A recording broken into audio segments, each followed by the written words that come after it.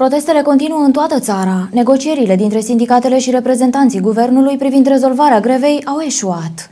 Guvernul vine cu o soluție deloc pe placul și pe măsura așteptărilor personalului din învățământ. În primul rând, cel mai important lucru, Guvernul României dorește să crească salariile profesorilor.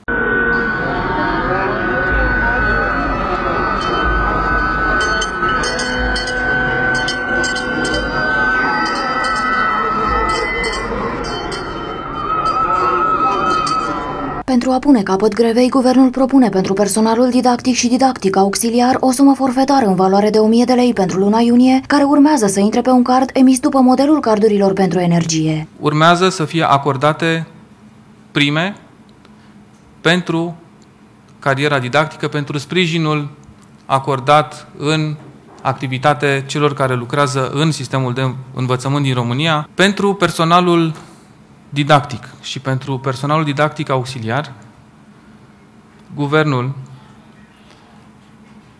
va oferi în luna iunie acestui an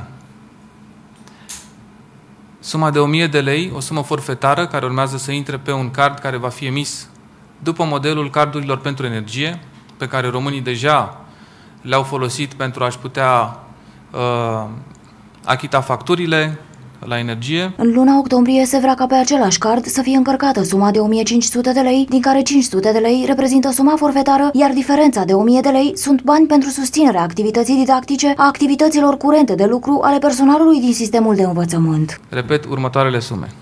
1000 de lei pentru personalul didactic și personalul didactic auxiliar în luna iunie. Este o sumă forfetară care poate fi uh, folosită urmând ca în luna octombrie acestui an, pe același card să fie încărcată suma de 1500 de lei, din care 500 de lei reprezintă suma forfetară, iar diferența de 1000 de lei sunt uh, bani pentru susținerea activității uh, didactice, activităților curente de lucru ale uh, personalului din sistemul de învățământ, repet, didactic sau didactic auxiliar.